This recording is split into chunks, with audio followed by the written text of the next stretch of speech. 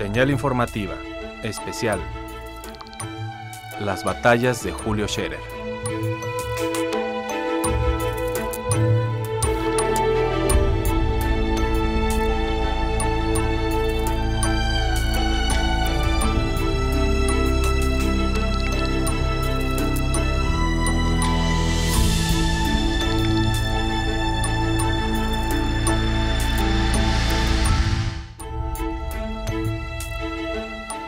Bienvenido a este programa especial que Canal 44 y Señal Informativa han preparado en honor del periodista mexicano Julio Scherer García y que hemos denominado Las batallas de Scherer. México ha perdido sin duda a uno de sus más aguerridos periodistas, Julio Scherer García, el legendario director de Excelsior y aguerrido fundador de la revista Proceso, quien murió a los 88 años víctima de un choque séptico. En noviembre de 2005, en el marco de la Feria Internacional del Libro, recibió un homenaje y el grado de doctor honoris causa por la Universidad de Guadalajara. A continuación, la semblanza presentada durante la ceremonia.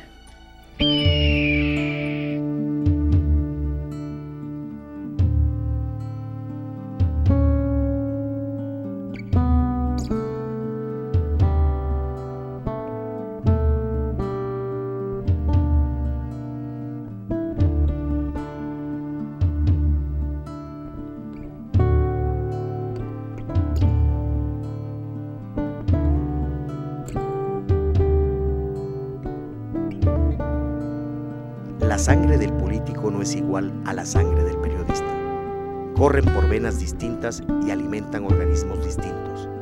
No hay manera de unir sus torrentes sin envenenarlos.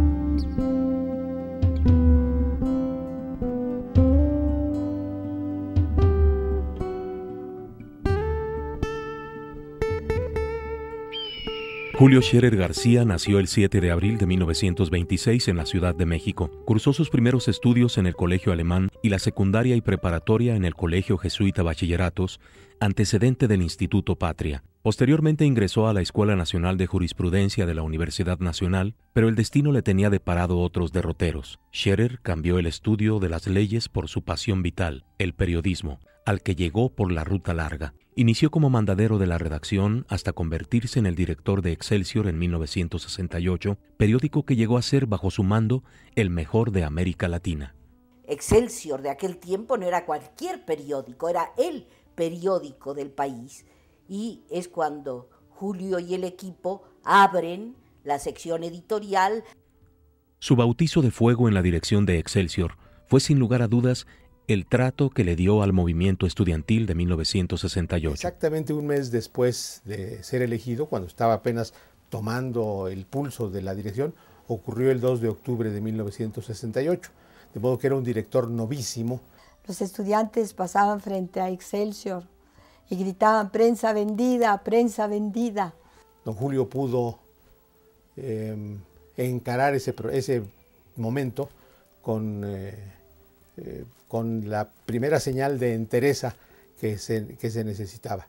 Pero al ver la, la, el modo en que Julio Scherer y su equipo, a ver la reacción de estos periodistas, los estudiantes cambiaron de opinión. El Excelsior de Scherer pronto se convirtió en la publicación de mayor influencia en el país. Una audacia que en esos días, en los años 60, por ejemplo, evidentemente no se veía una claridad de que las puertas debían de abrirse, ¿no? un atreverse a invitar a su periódico a las plumas eh, más disidentes y con más proyecto también, ¿no? más valientes y gente de una sola pieza. El Excelsior de finales de los 60 se llevaba de calle al resto de los periódicos. Como consecuencia de su línea crítica y por sus opiniones a favor de la libertad de expresión, los ataques al Excelsior de Scherer no se hicieron esperar. Excelsior había adquirido una gran presencia política. Eh, algunas de sus tesis molestaban a los empresarios.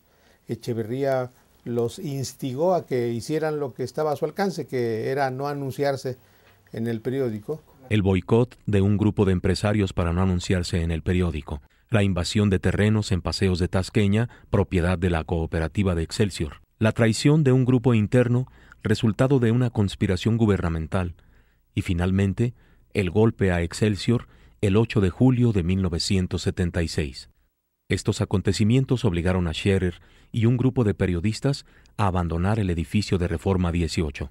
Al día siguiente que se salió todo el grupo, con Julio, recordemos la famosa foto con Julio Abel Quesada eh, marchando por Reforma, yo entré al día siguiente y ese periódico en el que yo había transitado durante 22 años estaba copado por gente vestida que de obreros, que de gente de máquinas, o, todos elementos extraños que a la legua se notaban que eran guaruras, apropiados del periódico.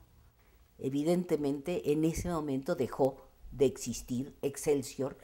Este golpe a Excelsior sirvió para despertar a algunos sectores de la prensa y la política del país. Dije, bueno, hay que hacer una reunión para demostrarle al gobierno de que este grupo no está solo, que tiene tras de sí a un grupo enorme de la intelectualidad, de la gente que hace opinión, etc. Eso fue un campanazo para el gobierno, porque estaba lo más granado de la intelectualidad mexicana de todos los sectores, literarios, científicos, maestros universitarios, etc., estaban presentes en esa reunión. Cuatro meses después de la salida de Excelsior, Scherer y sus colaboradores fundaron el semanario Proceso. Eh, continuar pese a todo y crear inmediatamente después la revista Proceso que ha resultado tan, tan benéfica, tan estimulante y tan eh, capaz de reorientar lo que era la vida periodística. Desde ahí asumían una posición crítica. Hasta la fecha, la línea editorial de Proceso siempre se ha caracterizado por su estilo crítico sin concesiones al poder. Proceso es la revista más contestataria que tenemos en el país. Es una revista de denuncia y una revista de oposición y se le puede también llamar una revista de izquierda. El trabajo periodístico de Scherer García lo ha enfrentado con los distintos rostros del poder, lo que lo ha convertido en blanco de diatribas, críticas, intimidación y amenazas. Sin embargo, lejos de alejarlo de la búsqueda de la verdad, su vocación profesional y su sentido ético siempre han predominado. ¿Qué crítica le puedo hacer a Julio Scherer? Pues tendría que ver básicamente con, eh, eh, con algo que me parece muy importante que él no ha desarrollado, que es eh, memorias. Amado y admirado por sus amigos y colegas, atacado de distintas maneras desde las altas esferas del poder, Scherer no transige, condena lo condenable y arroja luz sobre las tinieblas oprobiosas del poder político y reconoce la inevitable relación entre periodistas y políticos.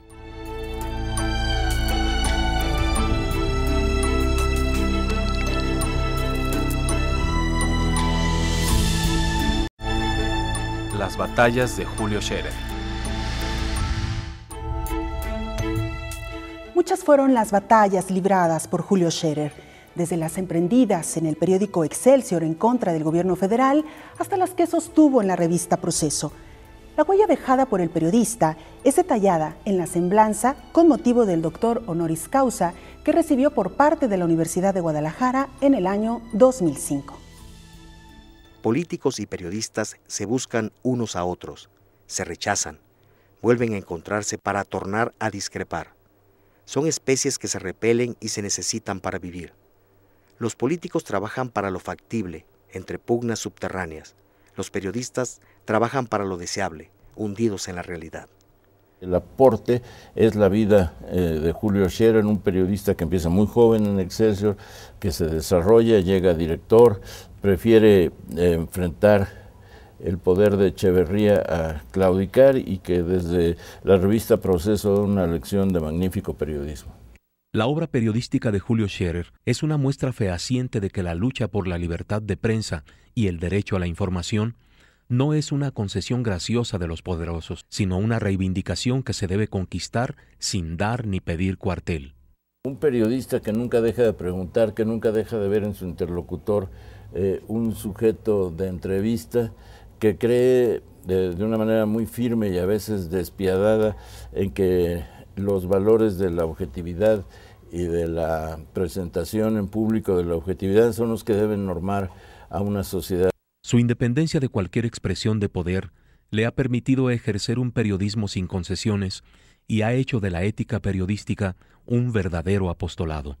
A Julio Scherer difícilmente se le va una noticia y todavía hoy quizá lo que más le interesa en la vida o lo que más le duele es perder una noticia. Yo creo que el principal aporte ha sido precisamente ese, el saber que se puede, el demostrar que se puede. Se pueden hacer las cosas, se puede ser crítico, se puede ser independiente, se puede ser libre y se puede hablar. La trayectoria de Scherer García ha sido objeto de reconocimiento, no obstante, él ha antepuesto la objetividad del periodismo al culto a su persona, haciendo con ello que su obra hable antes que su personalidad, aunque a decir de muchos es difícil separar las características personales de las profesionales en Julio Scherer. En Julio Scherer hay dos aspectos, el periodista y el ser humano. Los dos se entremezclan porque no es, no es, el uno sin el otro.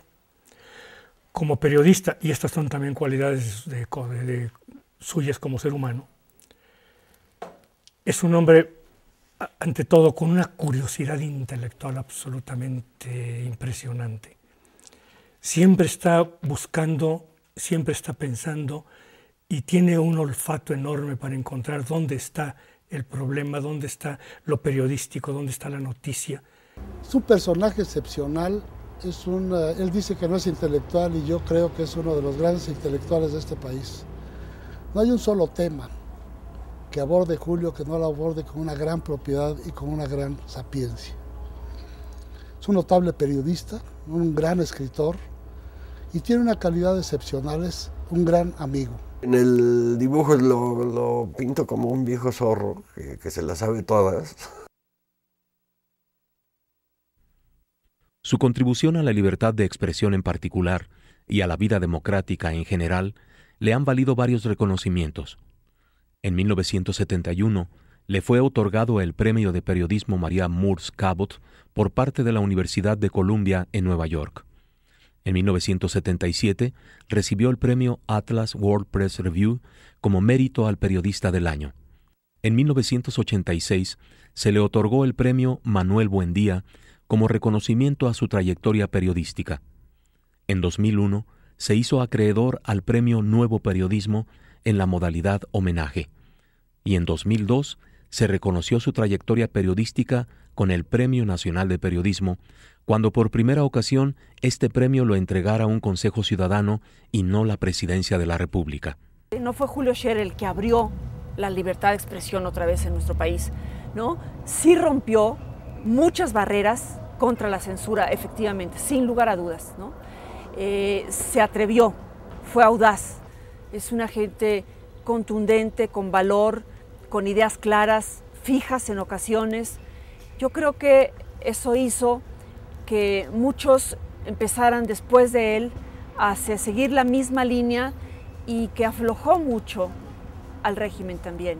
Sus publicaciones son el reflejo de su trabajo periodístico y de un compromiso ineludible con la libertad de expresión, la denuncia y la transparencia en la narración de la realidad social, desenmascarando así las perversas influencias en el poder público. Sus libros reflejan la pasión periodística, narrativa, descriptiva y literaria de su autor, así como la visión crítica como cualidad permanente. Su primer libro, La piel y la entraña, un libro eh, magnífico, muy bien escrito, eh, penetrante, no solo pinta a Siqueiros en la cárcel, sino penetra en su psicología, que es lo que tiene que hacer una, una buena semblanza. Y los libros de Scherer en este continuum son exámenes del autoritarismo, de, de, la, de la desgracia en que ha estado sumido el país por tanto tiempo con una clase política tan corrupta, tan ignorante, tan represiva y tan decidida a solo escuchar elogios. Formador de una nueva escuela de periodismo en México, forjador de un periodismo crítico e independiente, ser humano, padre de familia, amigo, es difícil encasillar a Julio Scherer en una sola faceta. A sus casi 80 años de edad, don Julio sigue siendo sinónimo de crítica, independencia, libertad y ética. Mantenerse distante e independientes de los poderes. Eh, incluso eh, cuando estos poderes están encarnados por personas cercanas. Y don Julio Scherer, por el periodismo, se olvida de los amigos. Lo que es un hecho es que la vida personal y profesional de Julio Scherer García corre paralela a la vida política y social de México. Por lo tanto, su trabajo periodístico representa la conciencia crítica y en ocasiones la fe de erratas de la clase política mexicana.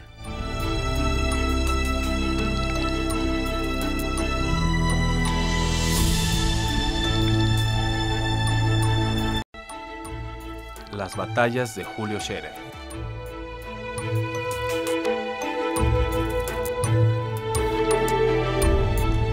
Largo de su trayectoria, Julio Scherer García recibió numerosos reconocimientos por su labor periodística y su papel de escritor.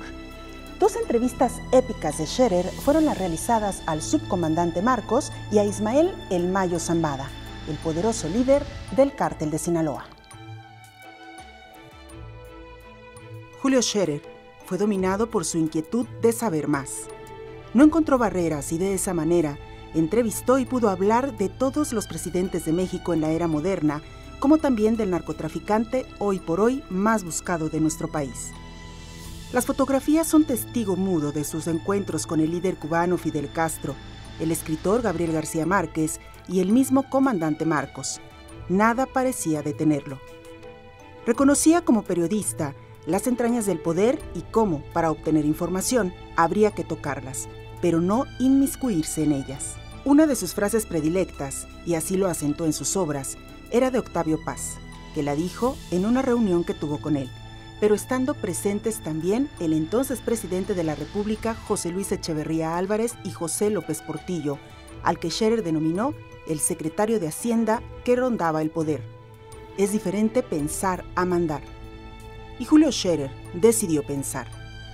Él mismo sostuvo que el intelectual en el poder deja de serlo justifica y defiende y orienta la acción del gobierno. El otro, como él, camina, juzga y cuando es necesario, contradice y denuncia. Sus diálogos quedaron plasmados en sus notas, reportajes, crónicas, pero también en 18 libros. Siqueiros, La piel y la entraña, Los presidentes, Salinas y su imperio, Cárceles, Parte de guerra, en donde fue coautor con Carlos Monsiváis. Estos años, la pareja, la terca memoria. El poder, historias de familia. El indio que mató al padre Pro. La reina del Pacífico. Allende en llamas. Secuestrados. Historias de muerte y corrupción. Calderón de cuerpo entero. Vivir. Máxima seguridad. Niños en el crimen. De esa manera, en sus publicaciones podemos perdurar su presencia al leer la descripción de su relación con los presidentes en el mismo nombre, desde Adolfo López Mateos hasta Miguel de la Madrid, pasando por Gustavo Díaz Ordaz, al que en su momento describió como cruel y colérico. Pero no quedó ahí. En su libro Salinas y su imperio, charla e investiga sobre los miembros de la familia gubernamental más poderosa y conflictiva que ha tenido México. En otro de los ejemplares, al hablar sobre Calderón de cuerpo entero, muestran los ilícitos sobre los cuales tanto se habló en torno al controvertido proceso que llevó a Felipe Calderón a la presidencia de la República. Asimismo, propone un retrato completo de quien gobernó este país en el sexenio pasado, reuniendo testimonios comprometedores y categóricos sobre el comportamiento discutible, por decirlo menos, del actual mandatario. Se dio tiempo, guardó documentos por años y otros los publicó en cuanto pasaron por sus manos. Era un investigador sagaz. Así llegamos, en 1999, al libro Parte de Guerra, donde fue coautor su amigo y compañero Carlos Monsiváis, donde dieron parte puntual de los documentos del general Marcelino García Barragán. Informes del ejército mexicano que describen las acciones que tuvo este durante el movimiento estudiantil en 1968, que llegaron a su punto culminante con la masacre en Tlatelolco pero así como dialogó con presidentes, lo hizo con criminales.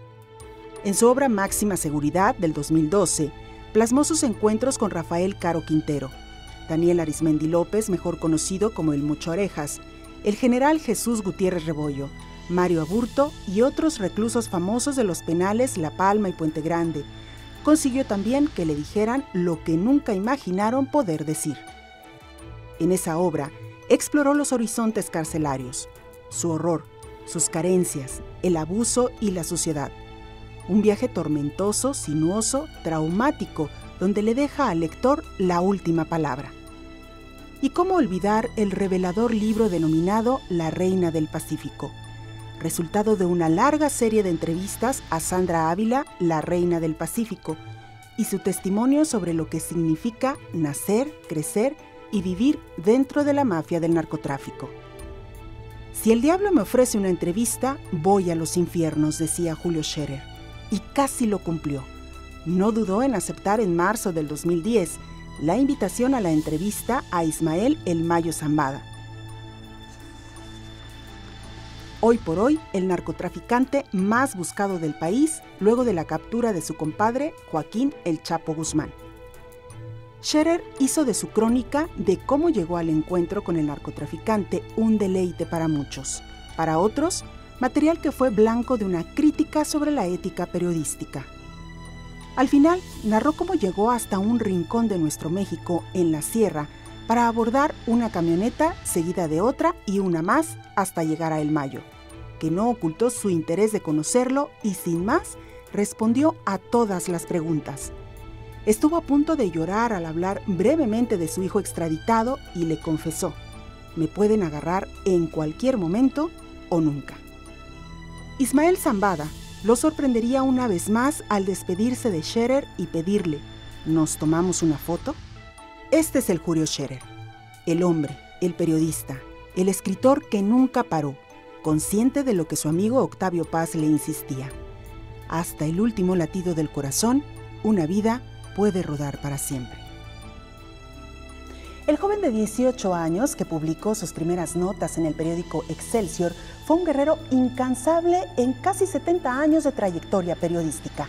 Apenas en diciembre de 2014 escribió su último artículo para recordar al fallecido Vicente Leñero, compañero de muchas de sus batallas y con quien ahora se reunirá en el sitio a donde van los que nunca se cansan de escribir. Sensible a mi timidez y a sus enredos, me adapté tanto como pude a una manera de vivir, la claridad para el trabajo y la penumbra para mi persona. Fui alumno irregular de la UNAM y en los estudios formales no avancé más allá de la preparatoria. Carezco de los títulos para hablar con propiedad del impresionante desarrollo de los medios de comunicación. Pero no van por ahí mis obsesiones. Honrado con amigos que rara vez se encuentran. Unido a reporteros que ya son el futuro. Y enriquecido por columnistas y escritores admirables, giro, en torno a un tema que no suelto ni me suelta. La libertad de expresión y el torpe empeño del gobierno por limitar la fuerza expansiva de la palabra impresa.